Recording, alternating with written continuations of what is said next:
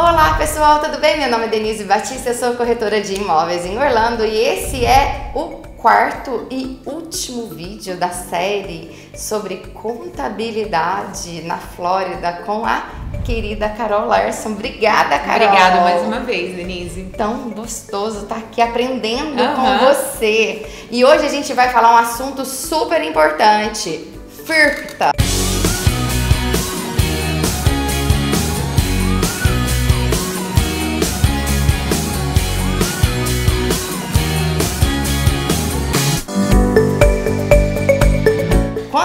Pessoas ouvem essa palavra, Carol, elas surtam. Sim. Ninguém, ninguém sabe o que é essa palavra é feia, complicada, é. que é esse tal desse FORPTA. É verdade. Explica pra gente é, quando se aplica o FORPTA, quando a gente é, consegue a isenção, como é que funciona Sim. isso, Carol? Porque você é, trabalhou num caso meu essa semana e é realmente muito importante é, pra gente é, poder se prevenir dessa, desse imposto. O FORPTA é aquela retenção de 15% que acontece quando um não residente vende um imóvel aqui nos Estados Unidos. Lembrando que a retenção aplica-se para a pessoa física estrangeira e também para as empresas estrangeiras. Então tem muita gente que tem empresa fora dos Estados Unidos e compra imóvel aqui e esquece do detalhe que o FORPTA aplica-se aplica, aplica também. Então, Não é só para a pessoa física. Então primeiro vamos destacar, é uma retenção. Porque as pessoas acham que é um piram, acham que vai pagar, né? Que a receita vai ficar com dinheiro. É, as pessoas piram, já ficam loucas que acham que perderam dinheiro. Não, calma, gente, é uma retenção. Uma retenção. Como eu já disse é, algumas vezes em, em, outros vídeos, o FORP ele foi instituído porque os estrangeiros vinham para os Estados Unidos, compravam um imóvel, vendiam e iam embora sem pagar o imposto sobre o ganho de capital. Uhum. Então, por isso que é obrigatório a retenção de 15%. Como isso acontece? No momento de assinar a escritura de venda do seu imóvel, o cartório vai ter toda a documentação desse FORPTA preparado por nós. Nós temos um time de especialistas em FORPTA por ser um assunto muito delicado e complexo. Depois eu vou citar um exemplo de um caso que aconteceu essa semana.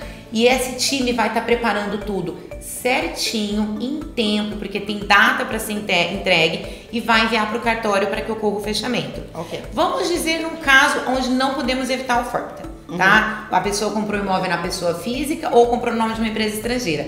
Então aconteceu foi esse dinheiro foi lá para a Receita, 20, no máximo ah, dentro de 20 dias depois do fechamento o indivíduo tem que esperar o próximo ano fiscal vender o imóvel agora. Eu não tenho como solicitar essa restituição do FORPTA agora. Eu tenho que esperar a próxima declaração que vai ocorrer em janeiro do ano que vem. Aí o que nós fazemos? Nós fazemos o cálculo certinho do imposto sobre o ganho do capital. Então, se o indivíduo tem, tem retido 10 mil dólares e o imposto é devido a somente mil, você vai receber um cheque de 9 mil dólares de volta. Uhum. E tem alguns casos que nós conseguimos aplicar para o certificado de withholding do FARPTA. O que seria isso? Nós enviamos um processo para a Receita onde nós demonstramos que aquele indivíduo vendeu o imóvel ou sem ganho, ou ele está dentro do limite de isenção, ou porque o imposto a ser pago é muito inferior aos 15%. Então a gente faz todo esse cálculo, monta um processo, envia para a Receita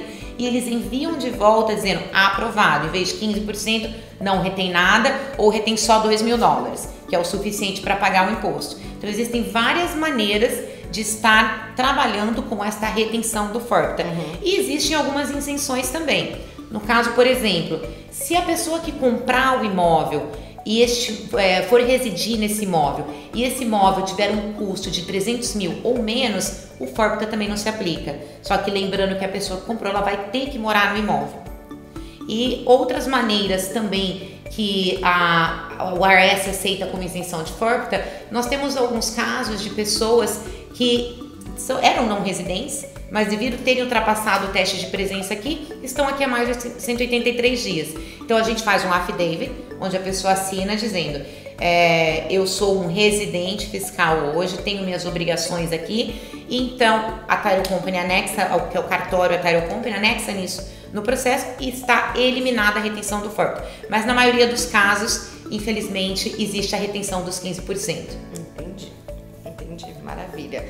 E, e é difícil é, o cliente fazer esse formulário de longe, estando lá do Brasil ou não? De maneira alguma. O cliente não precisa estar aqui, como em todos os outros processos de abertura de empresa, de preparação de impostos. É, nós agimos como intermediários, a gente entra em contato com o corretor, com o cartório e fica falando com o cliente no Brasil, ou se precisar falar com mais outras pessoas aqui, porque muita gente tem que falar com seguradora, então envolve-se outras empresas ou outras pessoas. A gente faz tudo sem que a pessoa esteja aqui. Então eu só preciso que o corretor ou o cartório me passe os documentos necessários para a elaboração do FORPTA e a gente faz tudo com a pessoa estando à distância. Entendi. E o valor que o cliente realmente vai pagar do imposto é do valor que ele pagou para o que ele vendeu? Vou explicar para você. O ganho de capital ele é calculado da seguinte maneira: você comprou um imóvel por 500 mil dólares, você vendeu o imóvel por 600 mil dólares. Você vai fazer a diferença entre os 600 e os 500, que vai dar os 100 mil dólares, e normalmente a alíquota é de 15%. Existem alguns casos para aquelas pessoas que têm uma renda muito alta que a alíquota do ganho de capital chega a 20% mas na maioria dos casos é 15%.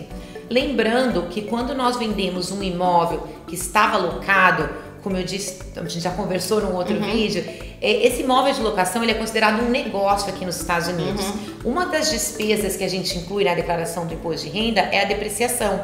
Uhum. Então, tem muita gente que é sempre, é sempre bom vocês uhum. avisarem que vende esses imóveis e não sabe que a, a depreciação tem que ser recapturada. Então, o que eu quero dizer? Então, nesse cálculo que eu acabei de explicar, vendeu por 600, comprou por 500, ganhou 100, eu preciso recapturar a depreciação. Vamos dizer que eu usei 5 mil dólares de depreciação nos últimos anos. Eu preciso adicionar isso de volta no meu cálculo. Então, vai ter um ganho de capital um pouquinho maior. Ah, e, por exemplo, nesse caso, é, decoração que o cliente gastou.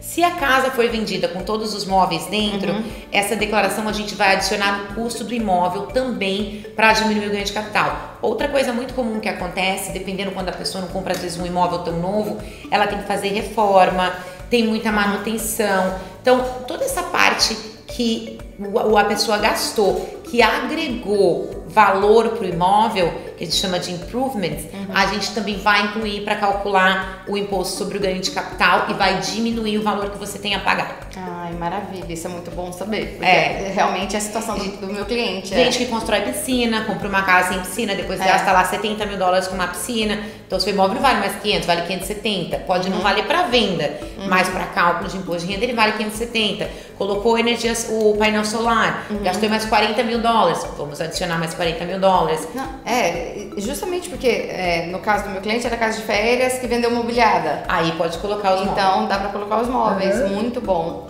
Não, e vocês ajudaram muito porque é, intermediaram tudo, porque o cliente não estava aqui, ficou todo o tempo em contato com o Taro, Taro Company, comigo, então foi super interessante. E é bom porque é, o que eles me explicaram é que não vai esperar, esperar até o ano que vem. Vai dar para devolver em menos tempo. Então, você está falando do certificado. É, do certificado. O certificado é aquele processo que nós enviamos para a Receita, uhum. um, uma demonstração. Olha, o cliente comprou a casa por 400 ele está vendendo por 350. Uhum. Então ele está tendo prejuízo. Ou o cliente comprou a casa por 400 e está vendendo por 450. Peraí, tem 50 mil de ganho? Tem o limite de isenção uhum. e mais outras coisas que o cliente pode ter feito no imóvel, como a gente acabou uhum. de dizer, que agregou valor.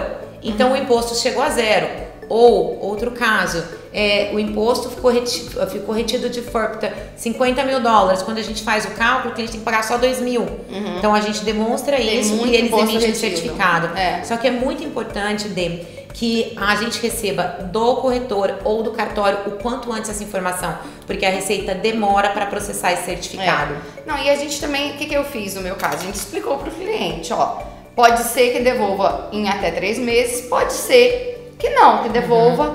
no começo do ano para o cliente estar tá ciente, mas o nosso cliente estava ok, né? Ele entendeu que é uma retenção. É. Os corretores né? experientes, é. igual uhum. a você, eles sabem como funciona o uhum. FORP. Então, o que às vezes pega a pessoa despreparada é. é que tem alguns corretores que não sabem da existência do FORP. Uhum. Então, ele está pensando que ele vai vender o imóvel e receber aquele valor integral, e de repente, ali na mesa, na hora de assinar, ele recebe a notícia que 15% vai ficar retido. Aí leva um susto. Ele leva um susto. Então, por isso que é importante ter um bom corretor também, uma pessoa experiente é. para te auxiliar. Não, e às vezes o cliente nunca ouviu falar do FURPTA, leva um susto, quase desmaia, né? Exato. Não, não tem, que, tem que saber e saber que é só uma retenção, que vai ser devolvido. E aqui nos Estados Unidos é tudo muito sério. Então é, é devolvido realmente. É, né? Tem muita gente que me pergunta, eu tenho alguns casos de, de clientes que estão esperando há seis meses, sete meses.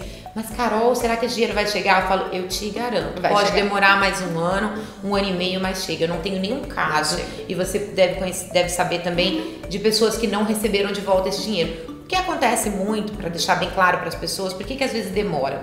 Os brasileiros têm nome muito, muito longos. longos é. Então a gente aqui normalmente tem o primeiro nome, nome do meio e último nome. Uhum. Aí quando vai fazer o fechamento de um imóvel para um brasileiro que tem cinco sobrenomes, uhum. nós nunca sabemos às vezes exatamente qual foi o sobrenome usado no cartório para que eu coloque a mesma documentação. Uhum. Então existe um conflito. Então a Receita demora para localizar aonde está essa, essa retenção é. que foi feita no momento da venda. É verdade, isso acontece com o Jonathan, meu marido, o tempo todo, porque ele tem muito sobrenome.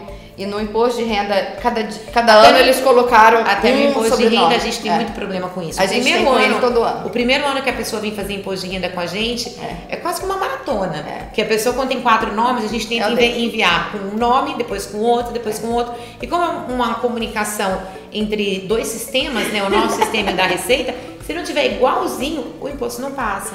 É, eu sei, porque eu tenho um marido com nome longo, é um parto. É. Né? Eu, eu digo, ele só não temos esse nome aqui. Eu falo, ai meu Deus. É exatamente é, é verdade. isso. Agora fala, vamos falar um pouquinho de imposto sucessório, Carol. Sim. Fala para mim é, como funciona aqui nos Estados Unidos. O imposto de sucessão é aquele imposto mais alto, vamos dizer assim, que o indivíduo paga é quando ele vem a falecer. 40% a alíquota do imposto de sucessão. É, doeu meu coração agora. É. Então, é por isso que muita gente, a gente escuta. Hoje nem tanto, porque hoje as pessoas estão muito mais informadas em relação a esse imposto. É, a internet Mas ajuda há muito, né, 20 anos, 30 anos atrás, eu lembro logo quando eu cheguei aqui, tinha histórias de milionários que deixavam, e na época era 50% o imposto de sucessão, que deixaram literalmente metade do patrimônio para a Receita Federal por não ter montado uma estrutura adequada para evitar esse imposto, ou pelo menos diminuir, né? Uhum. Então é por isso que a gente sempre recomenda uma boa estrutura jurídica uhum. ou uma, um outro tipo de planejamento que a gente sempre faz junto com os nossos advogados, uhum. de abrir uma trust, passar as ações dessa empresa, dependendo do patrimônio adquirido aqui nos Estados Unidos. Às vezes só uma empresa não resolve, a pessoa precisa de uma empresa e mais uma uma, uma outro apoio para uhum. realmente estar protegido. E o não residente tem uma isenção de 60 mil dólares. Uhum. Então, se ele compra uma casa no nome da pessoa física dele de 500 mil dólares e morre amanhã, toda essa diferença é, vai ter que ser pago 40% de imposto. Isso é tirado do patrimônio da pessoa que faleceu. Então, é uma coisa, um assunto assim que eu sempre bato na tecla. Ontem eu atendi um, um, um cliente que eu perguntei a idade dele, percebi que ele tinha uma idade mais avançada e com muita delicadeza. Perguntei quantos anos o senhor tem? Ele tinha 92 anos. E eu falando de imposto de sessão, imposto de sessão, imposto de sessão. E ele, não, mas eu não estou preocupado com isso agora. E eu, meu Deus, como que eu vou explicar para ele que é 40% que pode acontecer daqui a pouco, né? É. A gente sabe, né, independente da idade, não é porque ele tem uma idade avançada e nós estamos um, um pouquinho mais jovens, vamos dizer assim, que a gente não tem que se preocupar com isso, porque acidente acontece com todo mundo. É. é você tem que estar preparado. Claro.